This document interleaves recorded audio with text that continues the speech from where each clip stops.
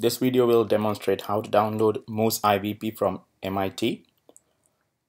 Go to Google and type Moose IVP from MIT, capital I.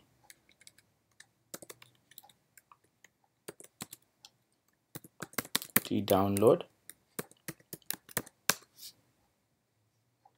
It'll take you to MOOS-IvP main page. I'm using a Mac computer. Um, I have the Yosemite latest version. So go to go to MOOS-IvP ocean.ai.mit.edu.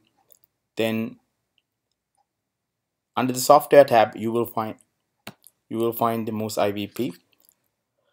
So to download the la latest stable version, they you just copy the uh,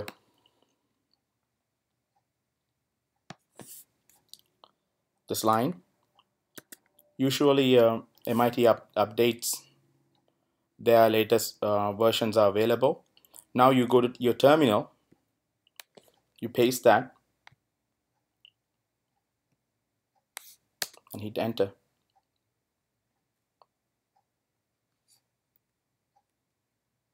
And you can say accept it permanently. Just take a couple of seconds. Depending on your computer's and also depending on your internet connection speed.